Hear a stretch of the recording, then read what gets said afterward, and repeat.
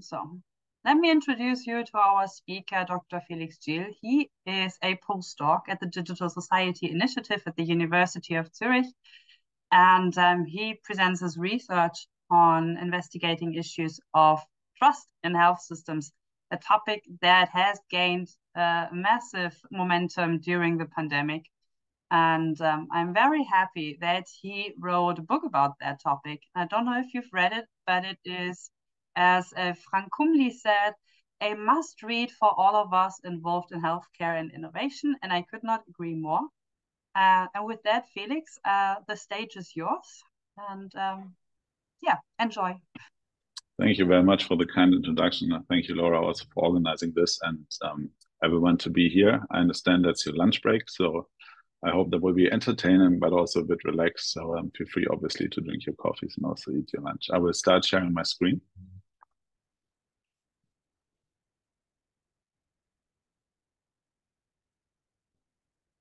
Can you all see that?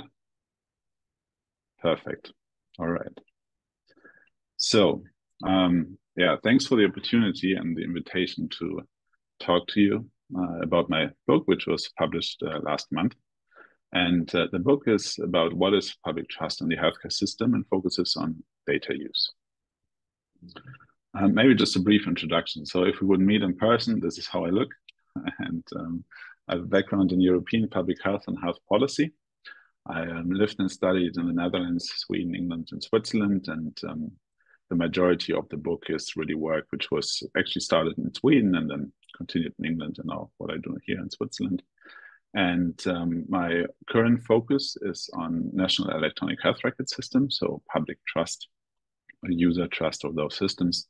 And then I'm also um, leading our projects in the area of trustworthy data spaces, health data spaces, AI and medicine, and um, data sharing policy.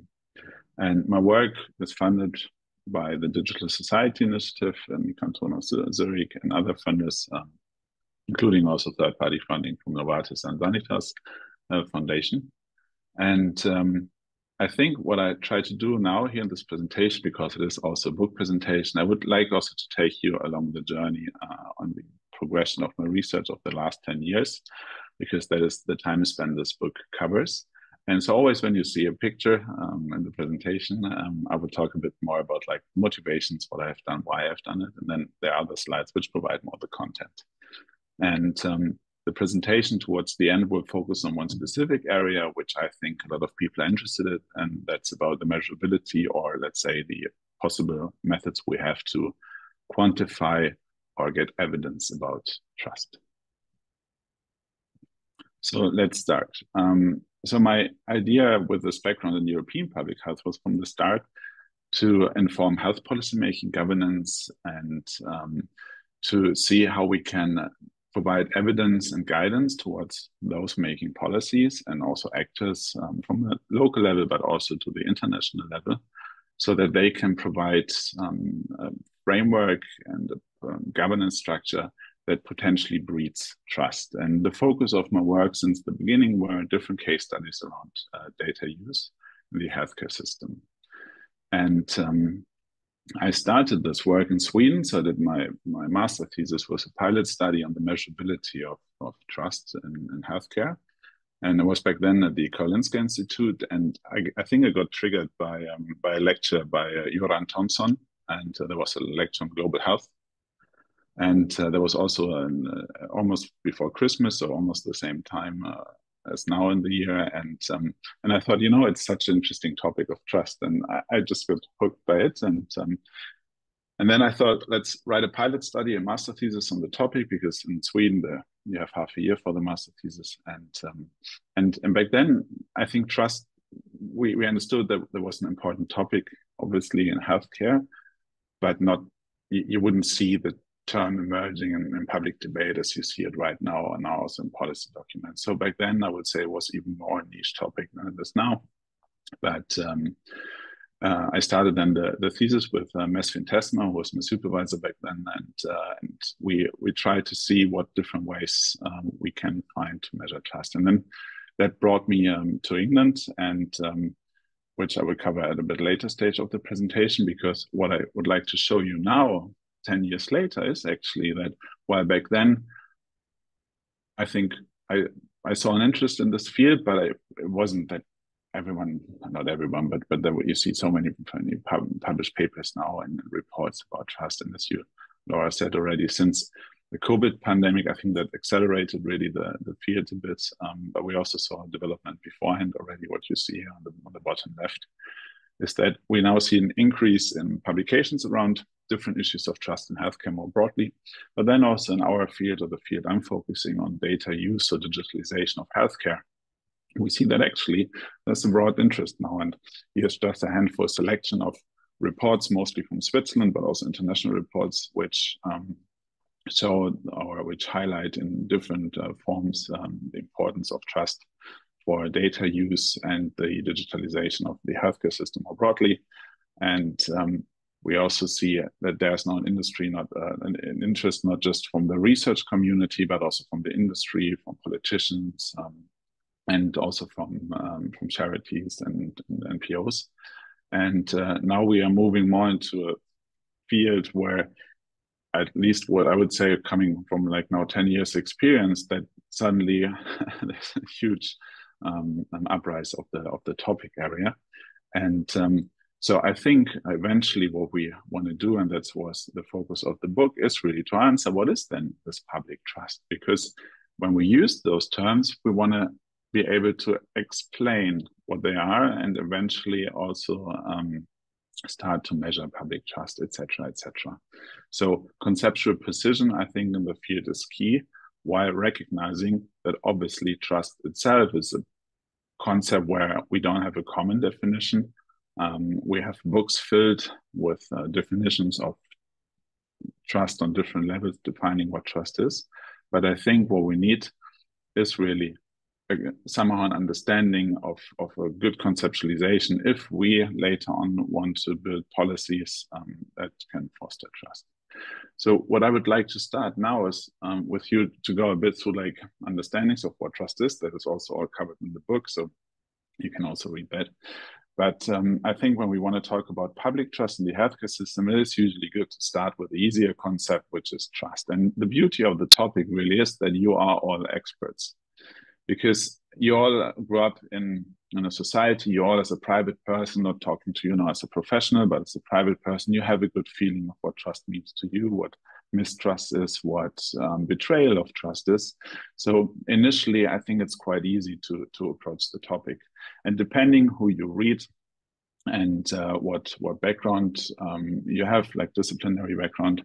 You might, for example, engage with Erik Erikson's uh, work on um, Kindheit und Gesellschaft and um, childhood development, and uh, according to him, you will see that um, the first one or two years of life are actually already the first years where people learn what trust is. So, in feeding and abandonment, so that's the argument the infant learns um, about about or obviously cannot conceptualize it in that sense, but has the first feeling of what a trustworthy environment is. And then we also see then in the later years how how trust relationship broadens. So it's not just the nucleus of the family anymore, but it goes into the society. And then when we grow older, we learn um, um, maybe to trust also others. And uh, we also now even go into into definitions of um, trust that go beyond the um, let's say human context, but uh, we uh, discuss trust in technology, trust in AI, etc., etc. That is also something interesting to consider, I would say.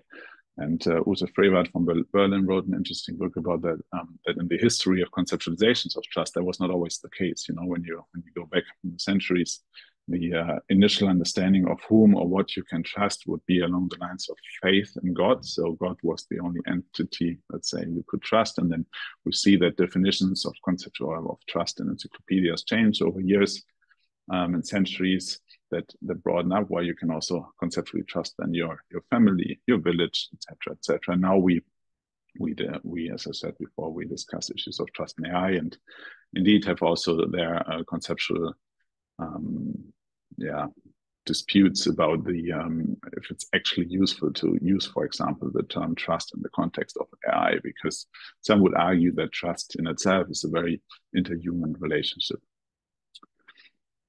So what I tried here in this paper um, in 2020 is uh, to try to demonstrate my understanding of what trust is. Um, we see that across the um, uh, different theories that there are some commonalities which I think they cut through all the theories and descriptions of trust. And I try to answer if somebody asks me, okay, what do you think what trust is? Tell me briefly, I would say, well, tell the truth and let me choose. And I might trust you. So it's a saying I try to bring together where I try to bring, bring together the main components. So on the one hand, we know communication is key. Without communication, trust cannot be established. Communication is not only us talking to each other. That also includes, for example, signs and signals, um, and and um, also like visual communication, obviously. And uh, then what we what the purposes of this communication is to convey truthful information. And then we already run to the first bigger problem: what is truth? And uh, we might have different understandings of what truthful is, but the important part is that the receiver of the information perceives this information as truthful. So we need truthful information. The next part is autonomy. So usually trust theories would describe that trust is established in situations of choices. So you trust A over B, B over C, etc., etc. Uh, Niklas Luhmann would probably argue if there's no choice, you might be left with hope, or you maybe have a wider confidence in the wider system. But in day-to-day trust relationships, there's usually the, the decision point um, of choosing who to trust, um, which is part of the concept. And at, at, the next stage, obviously, when you want to choose something, you need um, the different alternatives to choose from. Okay. And um, as a last part, and that's something which is sometimes difficult, I think, especially maybe in the policymaking world, depending where you work, that trust cannot be guaranteed. So we have good evidence. We now have a lot of knowledge about what makes something trustworthy and we can do a lot of things right but there's no guarantee. So there always there's the risk that despite you as an actor or um, the healthcare system in general is doing a lot of things good and a lot of things right still the users or the public might not trust. Um, then going a bit further trust in itself is a relational construct. So you would conceptualize along the lines of A trust B to do or not to do something X. And um, it's illogical, I would argue, from the trust perspective, theory perspective, that you would trust somebody or something in the expectation of harm. So trust usually um, is established in anticipation of a positive outcome or at least no harm. And the general understanding why we are now interested in this field here is that if the public or people trust a technology, or a healthcare intervention like vaccination, etc., they are more inclined, more likely to use this technology. So that's usually how it goes.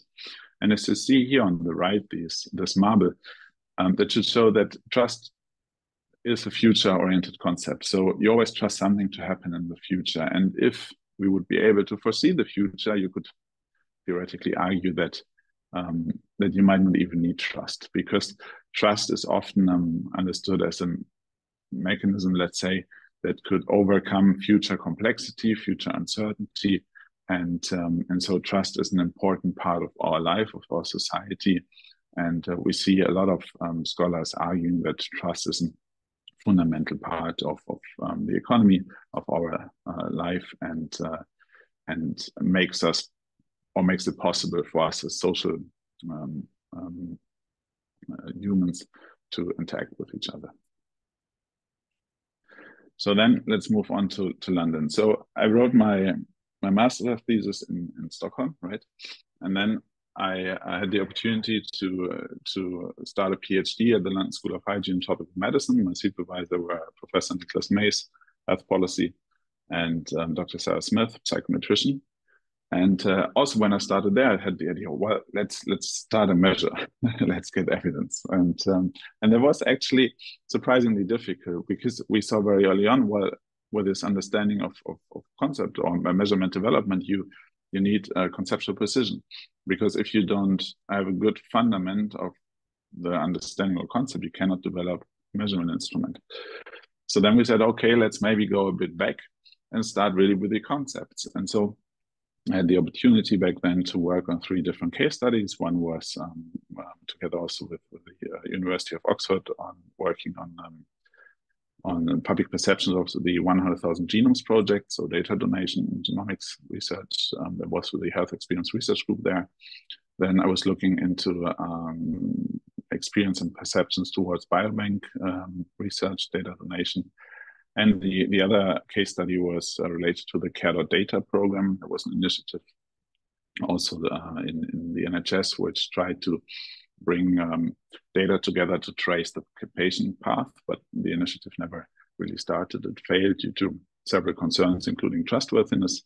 And here, interestingly, the data, while the other two case studies were qualitative interviews, so interview qualitative, uh, the qualitative data I used for this uh, case study, news readership comments. So um, I, I, was searching for articles in the big newspapers that discuss data and uh, and then I downloaded all the readership comments and um, I analyzed them by hand back then and uh, was looking for um, discussions of trust, confidence, faith, and other synonyms, or not synonyms, but terms people use as synonyms of trust, and to see how the term is embedded. So, for example, if people would say, well, um, I don't trust David Cameron because he's not transparent okay, then yeah, I would see, okay, transparency or communication is linked to trust. And that's how I conceptualized um, um, um, trust in, in, this context. And as I said, the case studies were all data sharing, data use case studies. And um, so the PhD then was, I guess, and that's also one of the major parts of the book, was um, structured in several parts. So the first part was really, okay, why is that necessary? But that's something I covered, I think, already in the talk. The second part was where does public trust develop? And then it went to the conceptualization. So where does public trust develop? I would argue public trust develops in the public sphere from open public discourse about personal experience and experiences of others. So this understanding of the public sphere, I guess, goes back maybe to Jürgen Habermas and, and others, and, um, and maybe back in the days, the understanding was the public sphere is like this social club where men meet. Um, whereas nowadays, obviously, the social sphere, sphere changes, and there's also criticism towards the concept in itself. If there's just one social sphere, but what I would argue is that around certain uh, topics, for example, um, CRISPR-Cas9 methods, etc., or vaccination, etc., we see that uh, people meet in different fora. There can be, yes, the coffee place where we maybe meet after a lecture. There can be in a sports club, but obviously also online. And then those spheres in different communication channels form around certain topic and people interact with each other and discuss their opinion and thoughts in one way or the other. And, that's also said is obviously a bit idealistic, but I think the difference here, what, what is important to recognize is that public trust in opposition to individual trust, which is between me and you, for example, one person listening, um, is that public trust is something which is more like um, community built uh, construct where um, people really talk about their own experience, the experience of, of relatives of the past, etc. And that also means that obviously this concept doesn't fit to um, every um, um intervention or activity in the healthcare system. So I would argue it's probably a bit illogical, for example, to talk about public trust in surgery. Um, you see some studies because surgery might be something more like for fitting for a concept of individual trust. Usually in, in concepts where public trust or interventions where public trust is, in, is working well, I would see that in um, in healthcare system activities which have a notion of altruism, of a benefit for others, um, where, for example, vaccination, you get vaccinated for your for your own benefit, but also the benefit of your family around you and the society. Same with data donation or, for example, electronic health record systems, which I will talk a bit about later. Um, they usually have multiple benefits and they go beyond the personal benefit. And that's why I see public trust as a useful concept. So what is public trust then? So here, I know it's not good practice to have so many words on the slide. Nevertheless, that's a definition I would I would propose. Um, public trust grows in the public sphere and open public discourse, and as a result, it legitimizes the actions of the healthcare system. We see now in other studies I do with my colleagues that the legitimacy part is sometimes difficult to understand, but the idea would be that um, because the public trusts healthcare system actors, the actors are legitimized to do whatever they are trusted for in the public interest. So that's the argument here.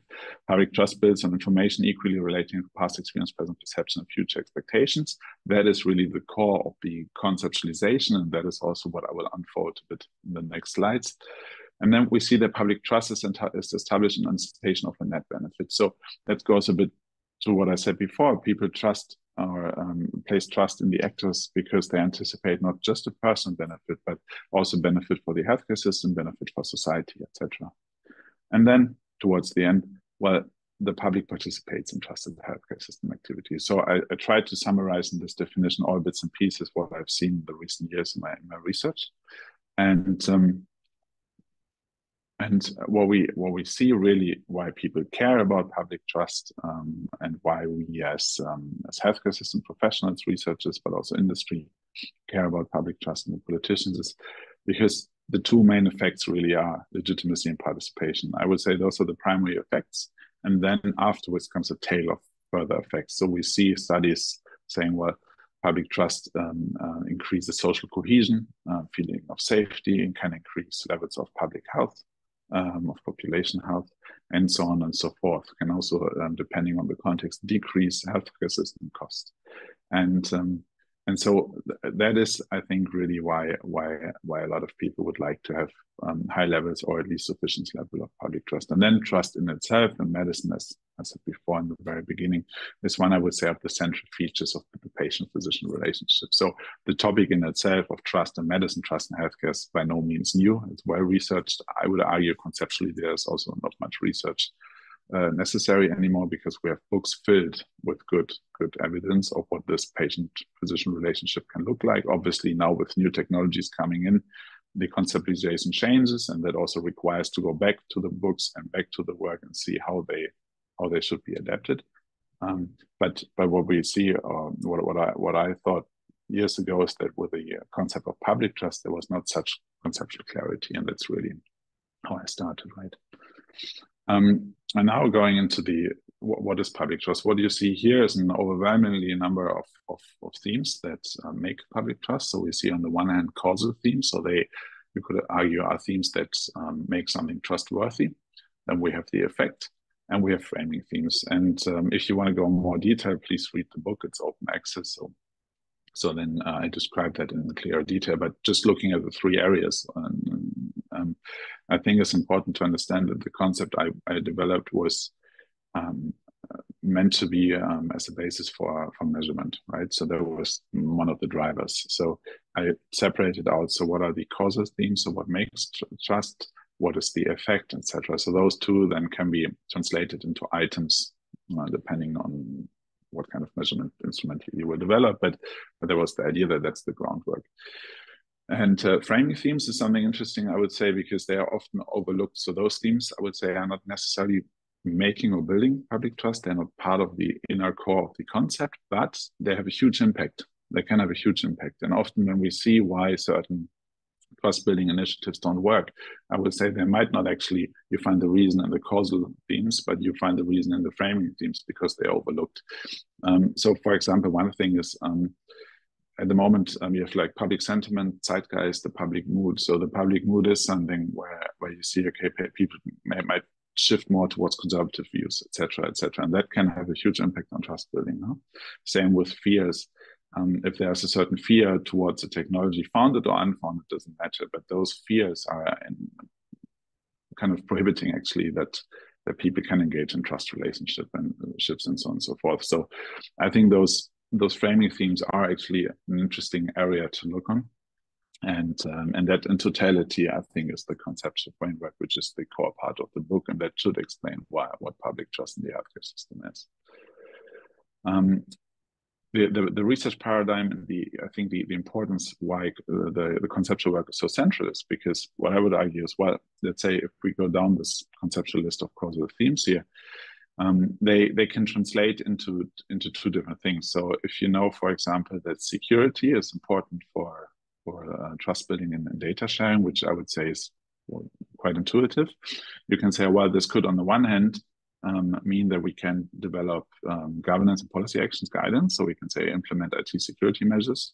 I used here an example from the Swiss um, Swiss Personalized Health Network, Um, and then on the other hand, we can have an assessment form as a broader term, extending or going beyond uh, measurement. We could say, well, computer systems are um, housed in a physically secure environment. So you can really connect guidance and action across um, uh, horizontally to, to all of those themes. And I think that is important. That the, the, the, the, the fundament of the work should be the evidence coming from the data and not necessarily um, expert opinion alone. No? So where are we today? So what we have, I think, in the field of public trust research, we have good conceptual understanding of what that could be.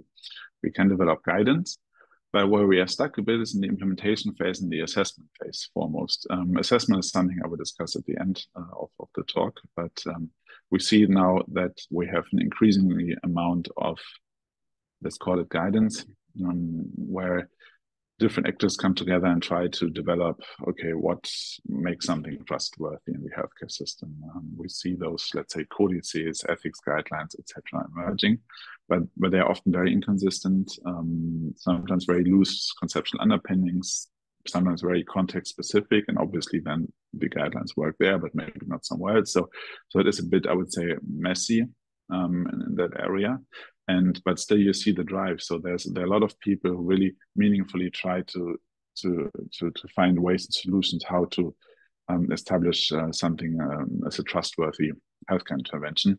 Um, and um, I think there's a bit at the moment the tension exactly between that. And then the other way if you go more into the industry they are also like okay but we need to be able to evaluate if we invest resources we want to see is this cost beneficial etc etc so I think the interesting work at the moment is somewhere between implementation and assessment. So here in Zurich, after um, my time in, in London, so I was uh, four years, I guess, at the London School of Hygiene. Then I was um, short uh, time in the University of Cambridge. And um, afterwards, I had the opportunity to, to move to Switzerland um, with my family. And uh, we uh, we live actually here. You can see it on the right side of the picture, further in the back, in a town called Thalwil. And I started at the ETH with um, Effy at the Health Ethics and Policy Lab, and um, that gave me the possibility to branch out in different streams of, of trust, public trust research around uh, around data data use in uh, in Switzerland, and uh, I could then further test and refine the concept and develop different ideas. And then two years ago, I received funding from the University of, of Zurich from the DSI, um, which allowed me now with colleagues, um, which are also here in the talk, uh, to uh, work together on different case studies. Um, uh, on one hand, we use, for example, the, the, conceptual framework I showed you before, and we validated and translated into um, into basically the cultural settings in Switzerland and around Switzerland. So we uh, went to, um, to, Switzerland, or neighboring countries, and the Netherlands, and tried to to um, to develop with participants and focus groups how the concepts can be translated and applied to electronic health records. And then um, and and another work we do right now is on um, on what the public understands as a trustworthy health data space because that is something which should be implemented in Switzerland sooner or later. That is, I think, in parallel also to the European health data space. So, so that is roughly what I'm what I'm doing right now. And uh, then we we also do an interesting study on um, the policy and uh, the role of, of trusted policy. And um, so you see that that the work is now branching out in different areas, but it always comes back to the conceptual work um, presented earlier. To close the presentation, and um, I think to, towards the end of the book, I'm trying to explain or say, okay, what three areas of application are there? Um, one is in the area of communication, so we can derive communication guidelines from the conceptual framework. We can derive um, indications of how to quantify and get evidence, and that's what I will discuss now. And then the other part is, is the policy recommendations. So what I thought because what also here in, in Barcelona, for example, where I'm right now at the, uh, the, conference, a lot of people are always very interested about evidence and measurability, which is understandable, obviously not surprising. So what we see interestingly here is in the in the field from a system level, what is the gold standard, right? So so what did people do over the last 20 years or so? They measure. So they un- unroll national household surveys or smaller surveys that can include psychometrically scaled instruments or not, but the idea is to measure. And here we have four, I think my favorite four articles from the field, and um, you see they are, um, are spread out over over 20 years. And interestingly, when we just look at the articles, well, we see that there's almost no progress. You see, they, I would say, well, they question over 20 years, come always to the same problems. And um, and for example, just the 2013 one, uh, half of the measures employed qualitative methods, and 33% were pilot tested. And then the next one, 10 studies did not explicitly mention dimensions. Some did not define them, and so on and so forth. And that strictly goes against good um, recommendations of like scale development and measurement. So you can really question, okay, how did those instruments come up? Nevertheless, they are they produce evidence which is used in in, in different ways to inform actors, but also policymakers. And um, we see in the latest paper from 2023, for example, um, that that the authors call for creativity. We need to understand what the essential role of trust and um, we need uh, continuous work in that field because we need to get, I think, a bit more creative than just the measurement itself. Um, my my main criticism in the field is uh, well that a lot of the measures have loose conceptual underpinning. So honestly, I also in my PhD I did a psychometric analysis of four instruments. Sometimes you have no idea what where the themes come from. You know, um, they they it, it just they, they make sense. Okay, yes, but we, we don't know if that's actually measuring what it should measure.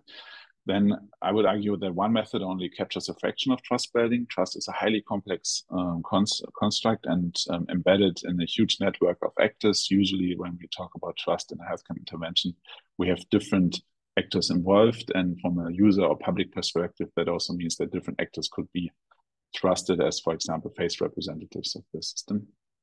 And uh, and then we have uh, this, we see that the survey quality often is questionable. So the focus of my work at the moment goes into what's closing those gaps. So really the idea is to see, okay, what different methods are there which can produce evidence which is meaningful to inform policy making. Obviously, the evidence will be different.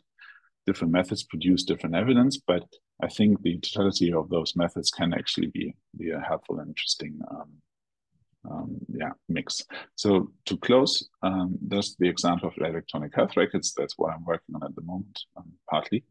So we see that typical questions when we talk about the introduction of those national electronic health record systems are, okay, what are the resources needed to build public trust? Okay, good. So that goes into more economic questions. Then we see questions, how can we build a trustworthy national, trustworthy national electronic health record system? Yeah, good question.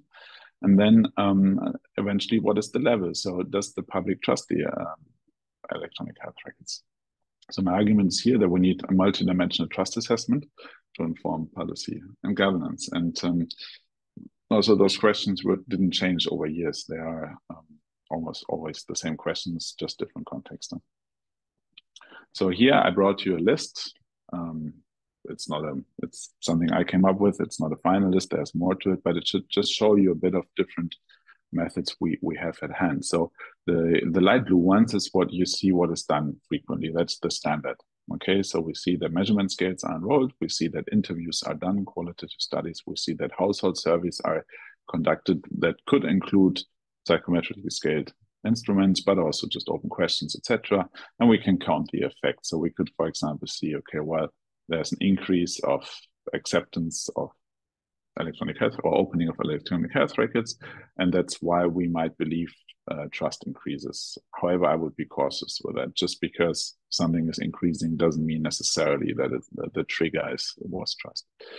However, we see now that I think we can include more uh, different methods, and, and, one is AI-supported open data research, so digital research methods where we can um, um, collect uh, huge amounts of, of openly available data and see, for example, how the public discusses certain topics, so like a discourse analysis, social media discourse analysis. Then one of my favorite areas at the moment while, while I'm working on our trust performance indicators, here the idea is, so you might know like KPIs, key performance indicators, then we have quality indicators, we have performance indicators in the healthcare system. Um, we have, um, uh, so, so those exist and the idea would be, well, maybe we can um, compile a set of indicators, evidence-based uh, indicators that are able to uh, continuously, routinely collect data along a certain healthcare intervention. And um, and then we, we have those data to to analyze and see uh, how the uh, the intervention is performing from a trust building perspective. And then from economic points, we can go into cost benefits analysis, also trust games more in a laboratory environment, etc. So I think the next steps in that field should go, and I'm not the only one saying that, is uh, are really to, to think creatively about wider and different um, methodologies so that we have the possibility to understand and um, dissect, let's say, uh, the uh, trust um, or public trust uh, from different um, perspectives to inform the wider process um, of, of policy. So without conceptual precision and robust evidence, attempts to build and maintain trust are the best um, a stroke of luck. Because if we really don't know what we talk about, it will be difficult. And um, what do we need? I think we need this multidimensional trust assessment um, in the future. We need appropriate trust building guidance um, that needs to be understandable foremost also and, and also useful um, to be applicable in the field, um, ranging really from primary care up to, to the governmental level. And eventually that should then lead, that's the hope, to a higher level of acceptance of digital health um, innovation more broadly in healthcare. So thank you very much, everyone, for listening. Um, that's the book. It's uh, the open access is funded by the um, SNF. And uh, yeah, I'm looking forward to your question. Thank you very much.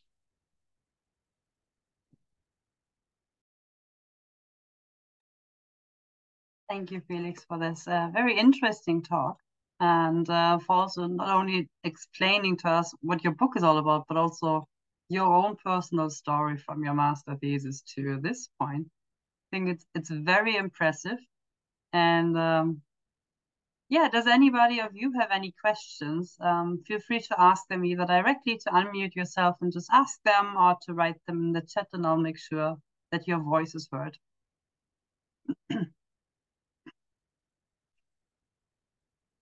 Alessia. Yes. Hello, everybody. Uh, thank you very much for this uh, really interesting presentation. I have a question about when you talk about public health intervention, can you divide um, a measurement of trust and acceptance? Or what is then the difference between accepting an intervention and trusting the intervention? Yeah, that's an interesting question. So the conceptual boundaries, that's something we, we discussed. So we had a colleague here, uh, Stuart Palmer from, from Denmark, who wrote also a paper on the um, uh, reliability, trust, dependency differences. And um, exactly, so so with acceptance as well, can you separate it? Uh, depends, I guess, um, not always. I would say acceptance is not necessarily motivated by trust. So sometimes we have different reasons to use something. It's not always trust. So for example, we might download or in the COVID times, we, we downloaded a tracing app because we wanted to meet with friends in a restaurant. So it was like a very different motivation than trust, and maybe trust was secondary. Also, I would say in a lot of interventions in healthcare, maybe trust is not really always at the forefront because usually when everything goes fine, nobody, you know, like nobody talks about trust. Usually trust comes up when there's high degrees of uncertainty, there are scandals, etc. But um, but I think the acceptance question is is is, is the right question, and um, trust. I would then conceptualize it more that trust is one of the different factors that lead to acceptance, but not the only one. Yeah. Okay. Hans. Yeah, thank you, Felix, for your very impressive talk. I really like the way that you really also work on concepts like in a very also philosophical way. I'm also from the Institute from Philosophy, but also working in public health. So very refreshing to see someone uh, working on things also like I might do.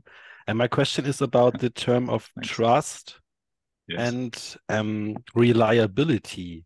Do you also mm -hmm. use the term of reliability? For example, giving I have a problem with trusting in technology. For my, for mm-hmm. example, um, when I drive to my office and do I trust um, on my bike that I will drive there, that I will uh, reach my office, or do I rely on the functionality of my bike and translated this to trust in technology? Do you, um, how do you, yeah, deal with this term, or do you use it? Don't you use it at all in your work? This is something I'm interested in. Yeah, thank you very much for the question. Um, Stuart Palmer, he could answer you other question very well because he, he really wrote the chapter on the topic reliability, trust, and dependence. Um, uh, I would argue so. On the one hand, I very strictly focus only on public trust to make it a bit easier in the life. Um, so I say, well, you know, that's the focus of the work, and I absolutely recognize yes, reliability is there, dependencies there on the other side as well. Um, what, what we would argue is that reliability is um, something in situations where the risks of, let's say, not betrayal, but something of, of a bad outcome, let's say, don't really matter so much. So, so the, the idea would be like reliability is like low risk scenarios, whereas dependency are even beyond trust because you really depend on a positive outcome. You know, like in life or death emergency situations, etc. You could also maybe argue that trust in itself is not the right concept anymore because the risk, the stakes are so high that the only outcome you can accept is a positive outcome, and that also goes then beyond trust. So that's something we discussed. Um, and and I would absolutely agree. Often it is just like yeah, it should just work. It's reliable. It's fine. Like trust is not always the the concept and focus. Yeah. There was a follow-up question by okay. Stu talking about existence of vulnerability. Uh-huh.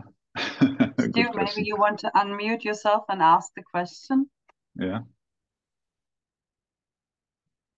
So I, I well, I, I can't. Okay, no. So vulnerability usually that's I didn't talk about that. That's right. Um, so the understanding and trust theory is that in the act of trusting, you make yourself vulnerable towards the other because obviously you shift autonomy, let's say, or power even to the person you trust.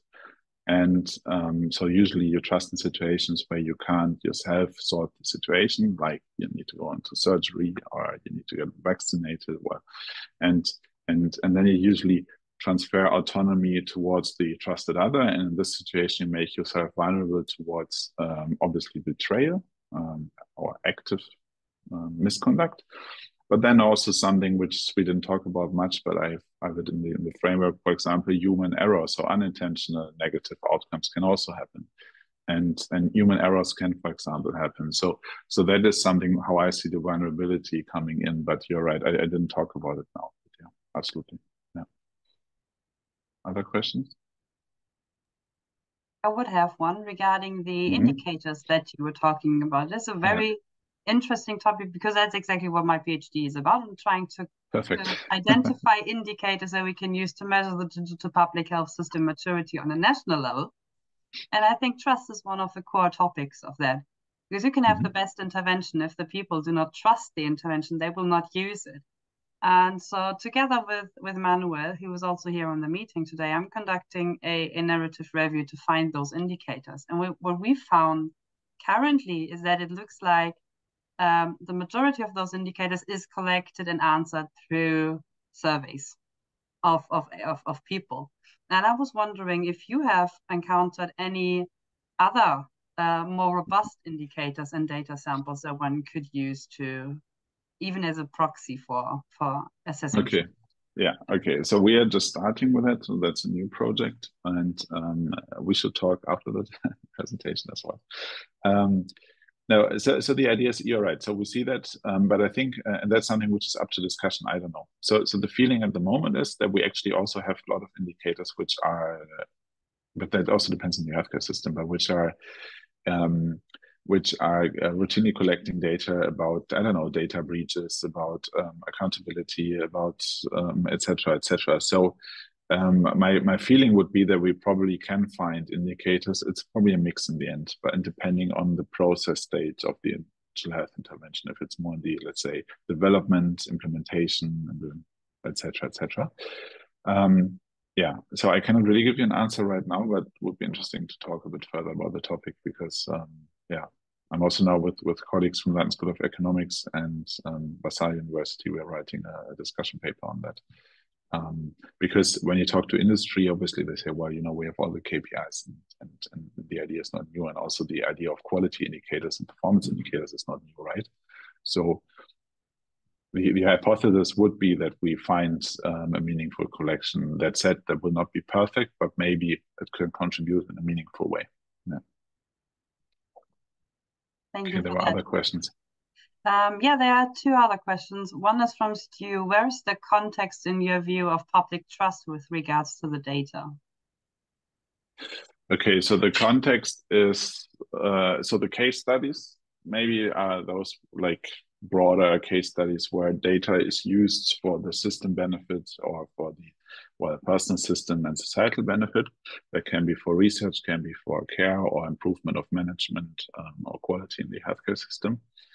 And um, yeah, so so I think that, that, those are the case studies where, and, and vaccination is, is, the classic, I would say, from historical perspective, the classic public trust field. So vaccine hesitancy, like Heidi Larson at the London School of Hygiene, for example, they do great work in that area.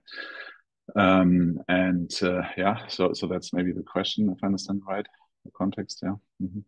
Hi, Stuart, you're here. Hi. It's Stu, lovely to see you. Um, we have another so question. tell us about the paper.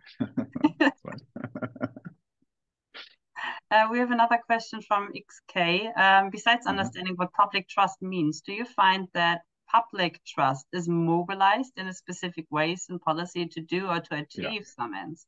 Yeah, absolutely. So um, I wrote another paper about the hype of trust with uh, Caroline Brall. She's now in Bern. And uh, yeah, absolutely. So also when I start a lecture, usually I start with this journey from my village to my parents, which live in the Münsterland. And um, and I, I, usually take those pictures, you know, at the airport, commercials, you know, even like hand cream, uh, which is labeled with trust, or uh, Lululemon sportswear, etc. So you see that trust obviously is also um, a fashionable term. It's a it's a hyped concept. It's uh, used in marketing clearly. That is also something interestingly, maybe as a bit side connection to that question. When you um, recommend something on trust and you write your guidelines, right? Um, it's still like a good question uh, then from an from industry perspective or institutional perspective when you look at your organizational chart of your of your organization who is responsible? Is that something for the marketing department? Is that something from the communication department? Is that something from the law department? Or is that something from the it department?